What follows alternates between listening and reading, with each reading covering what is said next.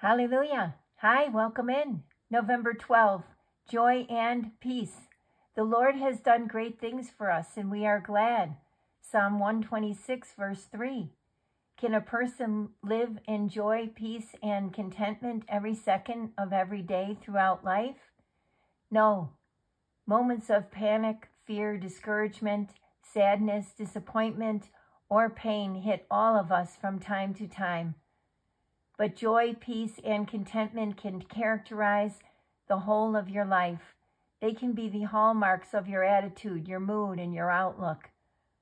When we know with certainty that God is in control, that he loves us beyond measure, and that he is at work in our lives, we have the genuine capacity to praise and thank him even in the midst of the most dire, discouraging, or depressing times.